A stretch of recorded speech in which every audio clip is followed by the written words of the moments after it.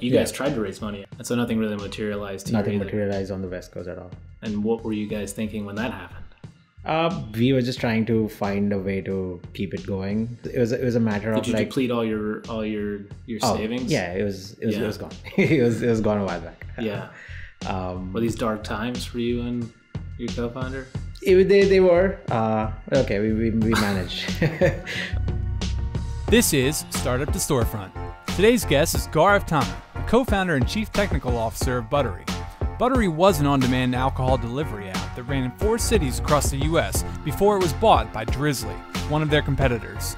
Gaurav is a skilled software engineer and responsible for developing and coding the app, as well as the back end of the website, which was part of the reason why they were such an appealing acquisition for Drizly. So listen in as we cover everything from dealing with the competition in their early days to sometimes having to make alcohol deliveries himself and the thought process behind selling the company he and his co-founder worked so hard to build. And you can also listen for the occasional honking from angry Boston motorists stuck in rush hour outside the Drizly offices while we conducted this interview. So with that said, now back to the episode. Welcome to the podcast. We're here in Boston, Massachusetts with my boy Gaurav. How you doing? Gaurav was the founder of Buttery, which was acquired by Drizly. Yeah. Tell everyone um, what the Buttery, what it was. So Buttery was essentially a marketplace uh, and a way for liquor stores to establish like online presence and have an e-commerce store for themselves. And what, what year was this when you decided to to move forward on this? So we started with the original idea in about 2014 when we like started exploring this problem. We were like we wanted to make e-commerce easier for like small and medium businesses. Mm-hmm. What was the original idea? So the original idea was uh, making things easily purchasable from your local mom and pop st- or like from your local stores, right? So if you are looking for something, you're right now nowadays you would either go on Amazon or online and find out where it is, but it's probably also available down the street from your local neighborhood store. So we wanted to bring that concept of instant buying, making it easier for you to shop from your local stores. Right. and that's when we started experimenting uh, understanding different use cases talking to businesses and figuring out what their problems were what are they like how to make this happen. And that's how we had started. So we are like all different types of businesses and we are doing a lot of things for everyone Right. which was like not serving the right use case not serving the customer properly so we tried out we tried and tested a bunch of different things saw what was working How many years did you test the different the different concepts? i think it was probably about a year Okay. uh, and at that time like we had quit our jobs we were like full time into this Yeah, before you guys were at Verizon, right? You guys yes were before we were like me and my co-founder we were working together at verizon as engineers. You're both technical. yeah we Yeah. built we built mobile apps for streaming video solutions at that time Yeah, and you guys were working out of Boston University. yes The library? uh, when we were like playing around like uh, test like initially when we were like experimenting with this idea we used to work like nights and weekends Mm-hmm. go to use like free resources like BU's library and you make make use of all BU's resources which was great when we figured out that yes there are some legs to legs to what we wanted to do uh, we just quit our jobs and gave it our full shot Yeah. What was that like? What was leaving your job like? Oh, it's terrifying. It's absolutely terrifying. Yeah, yeah. You're like leaving away a six-figure salary. You're figuring out how do you Safety. how like there's there's no safety net at that point, right? So Right. like, okay, what do you what do you do? Did you guys have a little bit of savings to make your life yeah, a little yeah, bit easier? Yeah, yeah. I mean that that's that's what we relied on a lot. Some of our savings, Yeah. our wives supported our uh, ventures pretty well. So yeah, Yeah. What kind of revenue did you have coming in at that point to zero. zero? zero yeah there was there's there's no revenue we're still we're still exploring what what's going to work what's not going to work talking to different types of businesses mm-hmm. because we had quickly realized that we were doing a lot of things for like all different types of businesses but it's not going to serve the end consumer that well mm. Right. You gotta plant your flag. You gotta like pick. yeah you, you, you, you, you need to you need to pick your you need to pick either your vertical you need to pick your niche and figure Right. out where where what you're good at and what is the best use case that you can solve for at that time we were working with one like liquor store as well uh, Yeah, okay. which was again coincidentally a friend of mine so that vertical and that use case like his store started to get like more orders and people were interested in more products around that and so so looking at that a little bit of that data we talked to more liquor stores Yeah. and figured out like there is a real need for a good e-commerce platform like that in the alcohol space Well, at the beginning, did you set out to sort of test? Was that always the plan that for a year you guys would just test different marketplaces and then wherever you saw signals, you double down, or was it just a natural progression? I think it was a natural progression. Like I'd be lying if I said we had a plan. Like we clearly didn't you don't know what what you don't we- know. Yeah, we clearly Yeah. don't know what we were doing. We are trying out different things and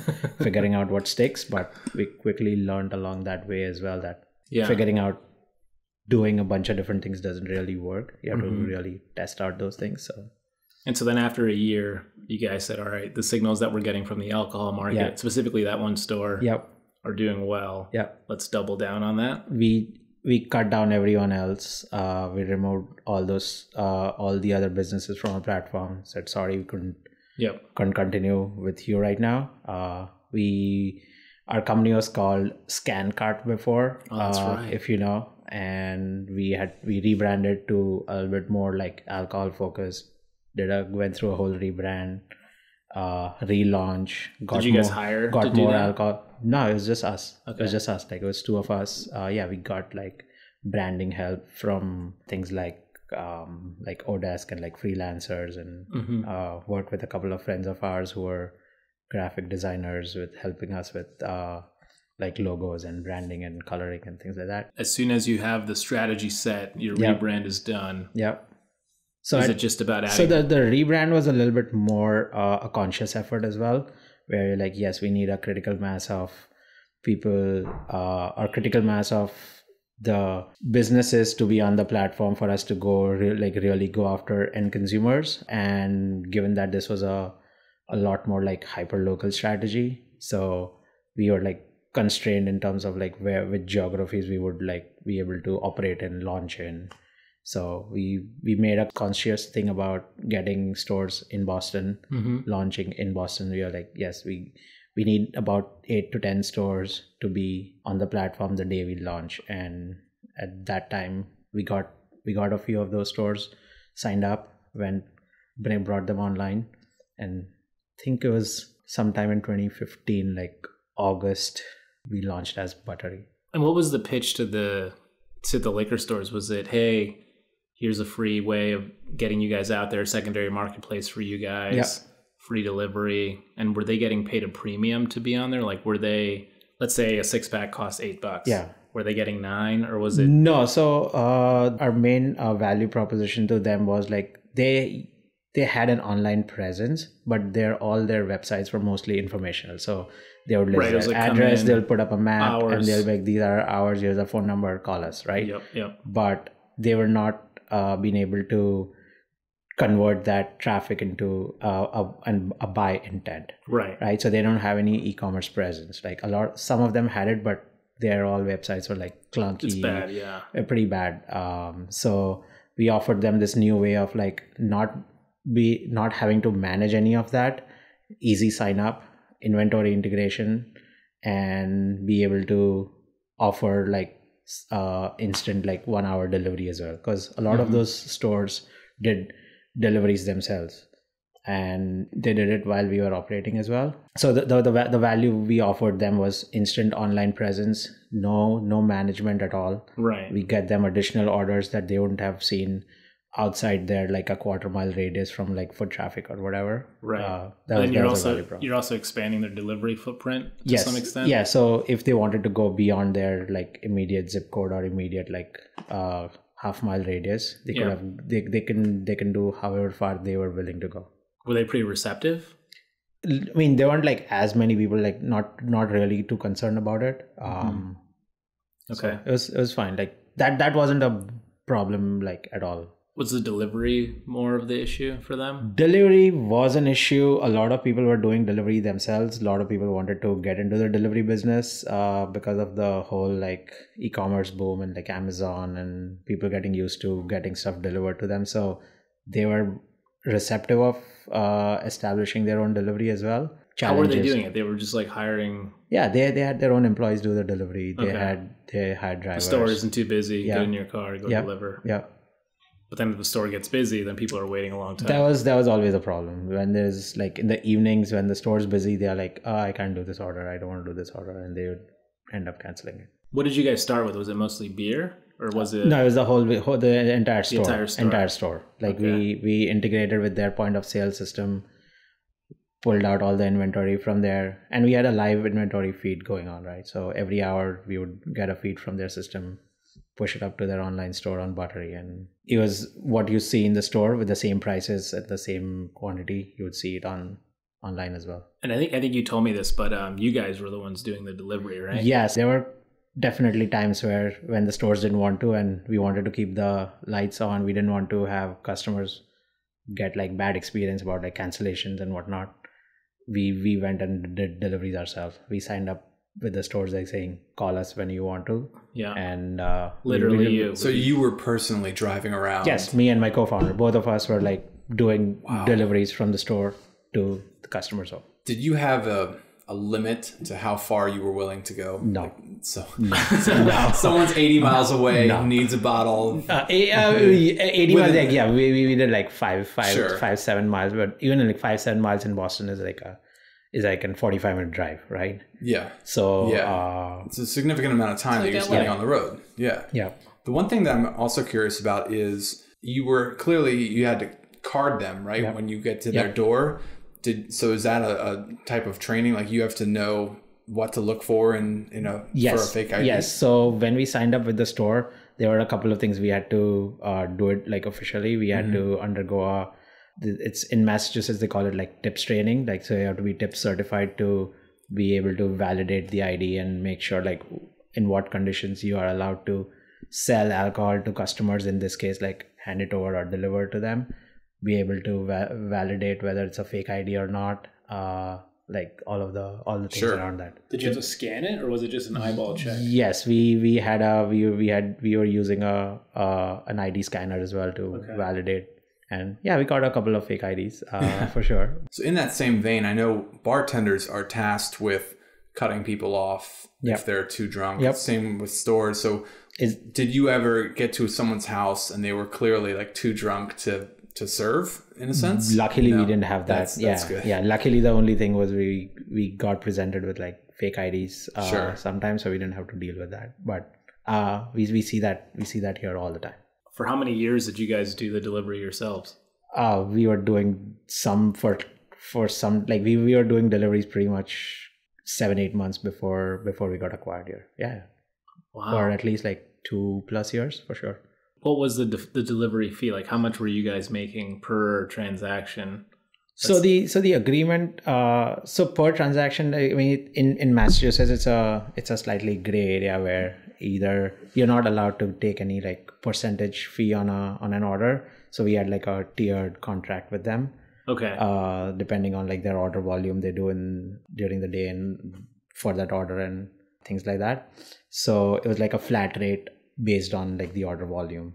Got it. So, but it was still around seven to eight percent Okay. Yeah. So you negotiated that with Yes. the the consumer or the the with store. the with the store. So the customer, like the end customer, pays the price of the product. They pay five dollars, like four ninety nine delivery fee, and an optional tip that if they wanted to add. So with the stores, we had the thing like if we are doing deliveries for you, we'll take that delivery fee and the tips, also the commission from the orders. And so after a little while of working with the stores, what was the reception? Were they did they love it? Did they Stores that were getting like decent amount of deliveries, they they loved it. They had their own website, uh, personal storefront that they had like linked it up to their static websites as well. So they were happy that now they have an online presence that they could use.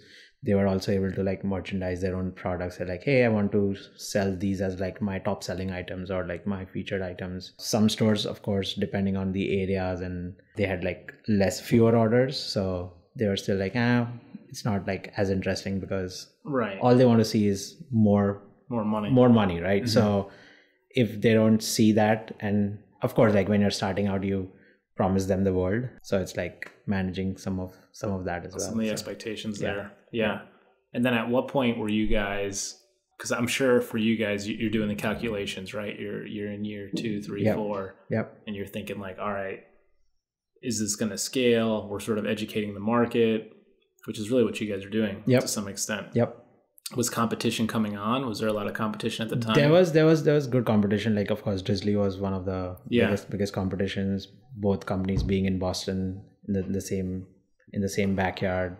So Drizly was always like the big name out there in the market. A, a lot of our stores that we were working with as well, they were working with Drizly as well. So they are like what whichever channel gets me like the most Best orders. like, yeah. So they were and- playing both sides. Oh yeah, they they they don't they don't really they don't really care. Uh, they're like more orders from wha- whatever orders they can get from anyone. They are they are happy with it. Uh, right and from your perspective were you guys thinking of raising money to try to compete Yeah, we had like self funded this uh, for for a while. We wanted to even when we got to a stage where we rebranded and relaunched as Buttery, we were it was all bootstrapped, uh, self funded operations. Uh, but yeah, we would right after that we started out getting money, uh, like raising money. I think once you have launched, you get measured on a different yardstick, right? Like uh, if you if you are a pre if you are a pre product company, if you have not launched, the parameters are different.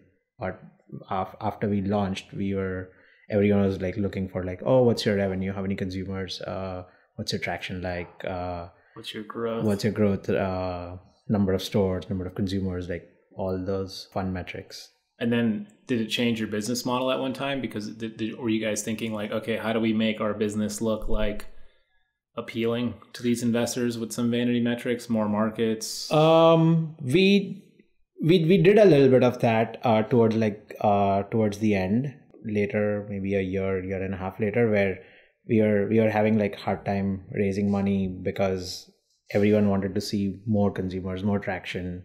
And did you so- think that was a function of being in Boston, or did you think? It was I think it was a little bit of both. It was being in Boston, uh, Drizly being a big presence, uh, Right, your main um, competitor. main main but they're competitor big. in They're, Boston. They have a, a yep, name. yep.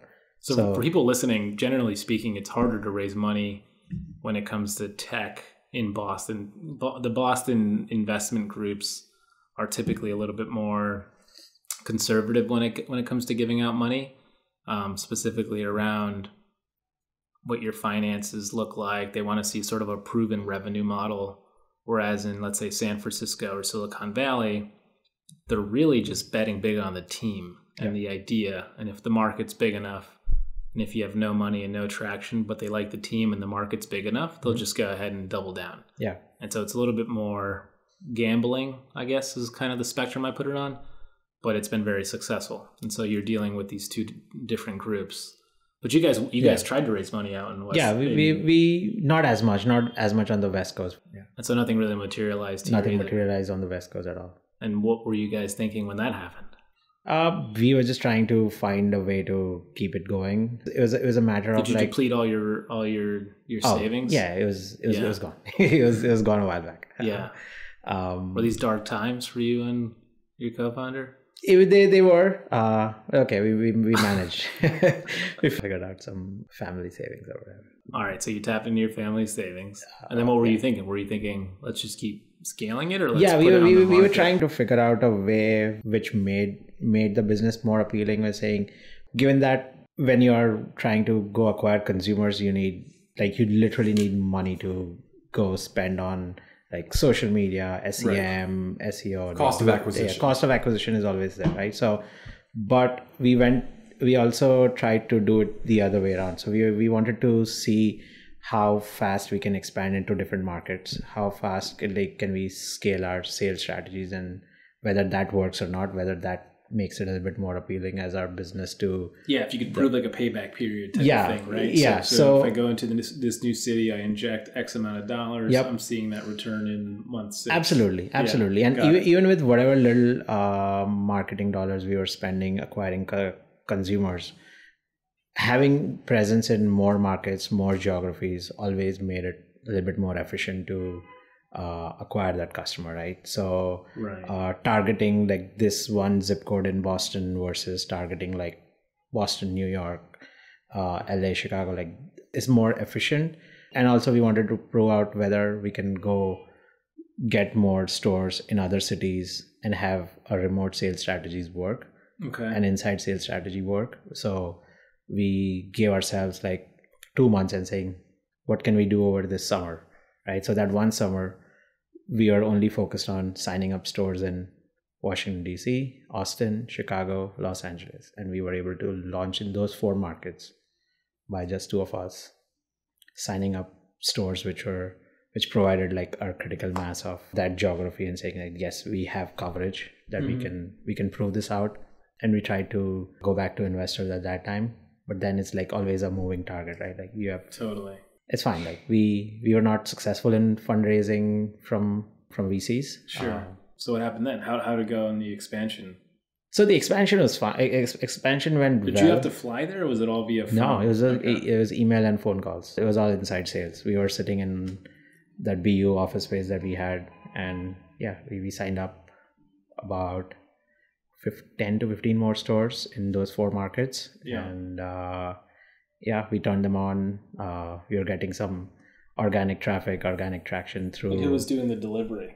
The stores. The stores do the delivery. Okay. Yeah, all, all like ev- everywhere. Like apart from one or two stores in Boston, like all of our other stores were doing their own deliveries. They had their own delivery operations. Did that change at some point, where some stores were primarily looking to you guys to do the delivery? Not really. Okay. Not really. Some of them were in Boston, leaning towards that. Uh, but at that point, we were like, we can't support that anymore with like the scale that we have. Yeah. So we had to cut ties with a few of them. Then at what point were you guys thinking of just walking away from it and hopefully getting acquired? So we we were at a point like in this was I think early 2018, like spring 2018, where we're trying to figure out like yeah what are the next steps right like if we are not able to fundraise well if we're not able to grow at the pace that we should be growing and we wanted to grow at it doesn't make any sense at in continuing the business at that point right so yeah. we're trying to figure out different avenues uh, talking to a few people to see whether an acquisition makes sense or just partnering makes sense as like growth partners to power somebody's like alcohol delivery and like alcohol as a vertical because Sure. we knew that well we're talking to different uh, different people different companies uh, then we got introduced to founders here at drizly and we had a conversation it was great uh, What did you What did you find out that you guys were doing better, if anything? Whether it's the tech. I don't know if I can point to like one certain thing that we were like doing better or worse. Uh, this is how I'll put it. I'll say with the amount of stuff that a two people, two person company achieved in that last three years, I think that was like the best thing that we've did, we did right. Like putting all our all our sweat equity into building that company and growing that, performing all the functions around like be it customer support, being delivery, be it tech, be it, be it sales or all of that stuff. With with that sort of like limited resources, what we achieved at that point was I think I think our biggest achievement. Was there any kind of uh, hit to your pride? you'd started this company, Yep. and you had stuck with it through very thin times. Yep. Was there a sense of like, well, this is ours. I want to keep it ours, or was it just like, you know what, we need to accept that it's time to start looking for? yeah, i mean, there's there's there's always there are always those feelings, right? Yeah. Uh, that yeah, you've you've put in so much effort to build something from the ground up, from from nothing, and you're at a point where what like what's the future of what's the future of that company? But Yeah. uh, yes, it hurt. It hurt for Mhm. sure, but I think it was I think it was it was fine. I think it was like the right outcome. I think we found like good partners to merge with. Like now we are here, which is we're solving the same problems just on a bigger scale, Mm-hmm. uh, which I think is which is good. Uh, What was the process like? I don't know if he like followed any any specific process. Uh, like while talking to a people, like we start getting started getting introductions and started reaching out to people who could make introductions. Mm-hmm. So we had we had conversations. We un- tried to understand what their vision is of their companies, what their vision uh, would be for us and Buttery as as a product and us as uh, founders joining joining a different team as well. Yeah, what was Um, that like? That conversation? Because in some in some essence, you guys were siloed, right? It was just you and Yeah. Gaurav Yeah. on your own, Yep. chasing your dreams, Yep. And now you're going to come into a structured environment Yeah. that's completely different, similar but completely different. Yeah. Was that? I mean, what did you guys think of that? I don't know.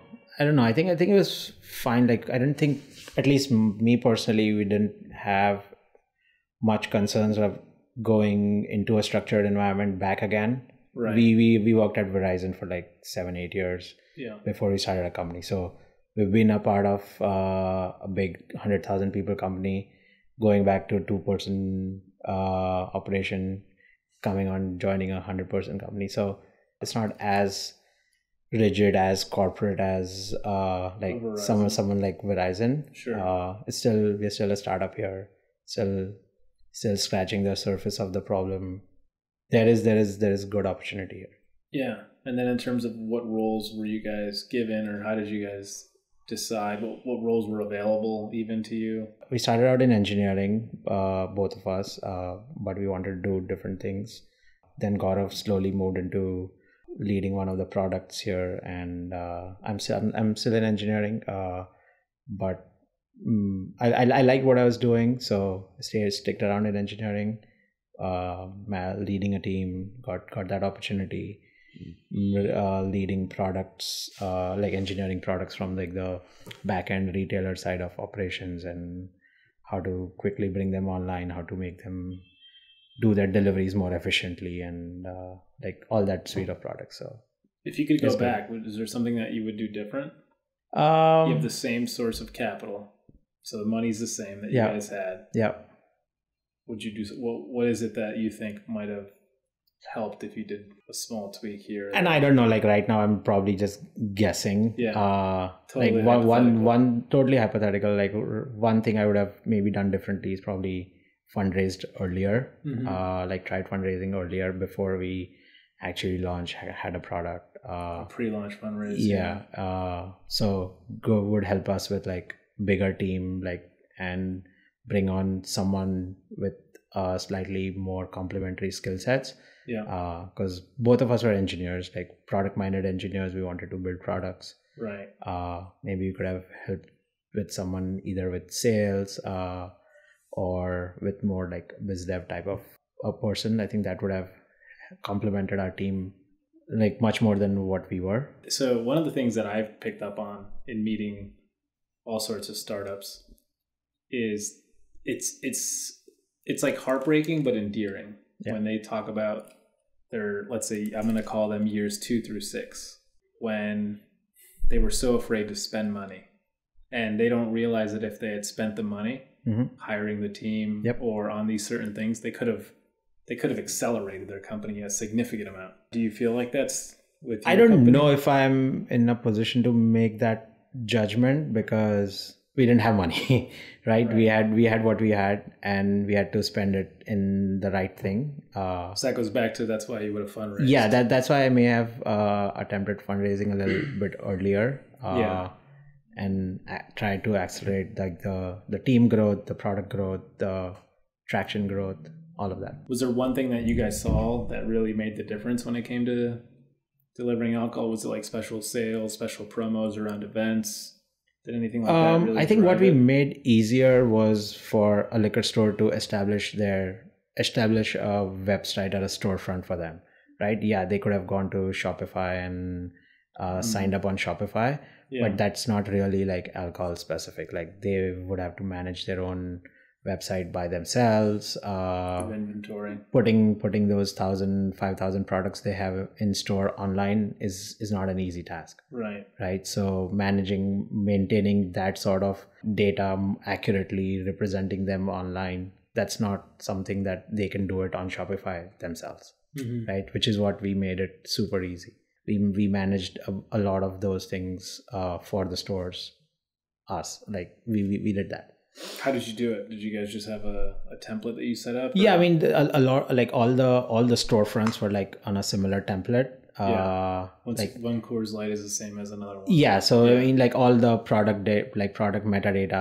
images like description like all, and all of those things are like common across stores so once we get it for one it's for, available for everyone else Right.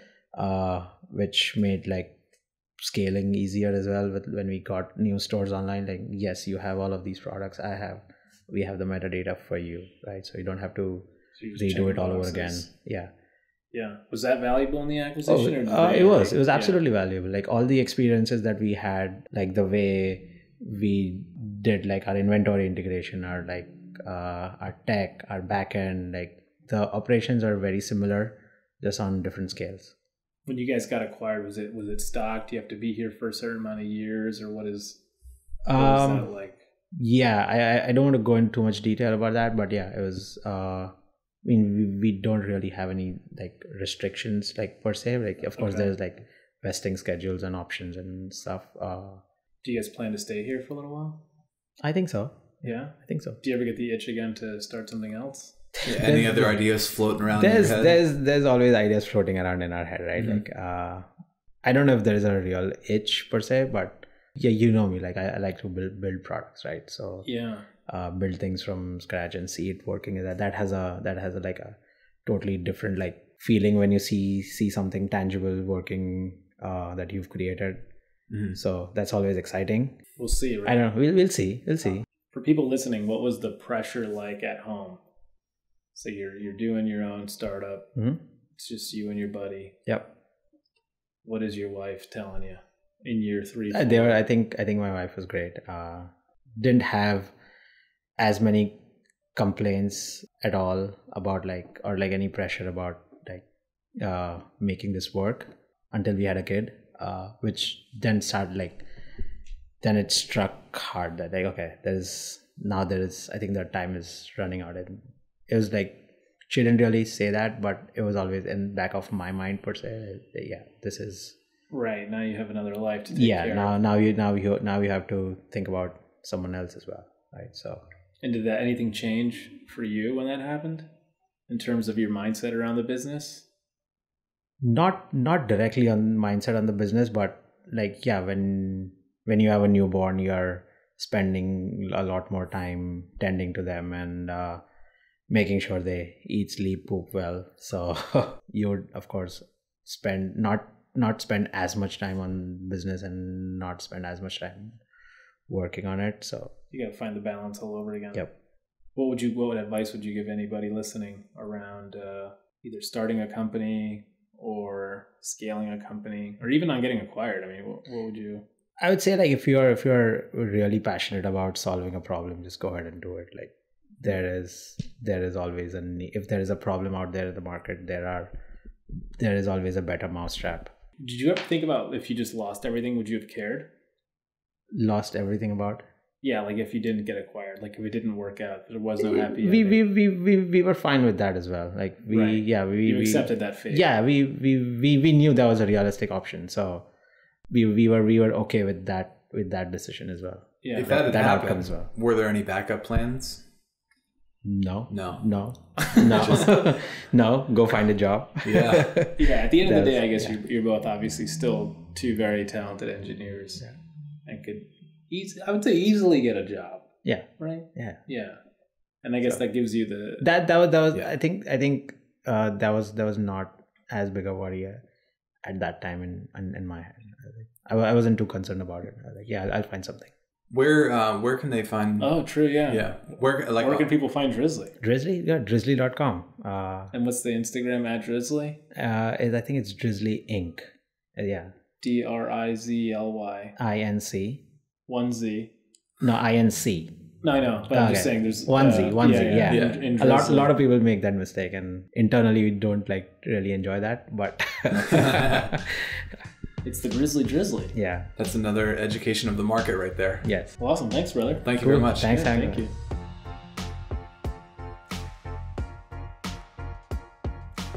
We here at Startup to Storefront would love to hear feedback from you. Reach out and let us know what you think, either through rating us on the podcast app or by sliding into our DMs. You can find us both on Facebook and Instagram at Startup to Storefront. Our theme song is composed by Double Touch. If you want to learn more about the products and businesses featured on today's episode, check out the links in the show notes. And if you enjoyed the episode, consider subscribing because we've got a lot more great guests coming up that you won't want to miss. Thanks for listening, and we'll see you next time.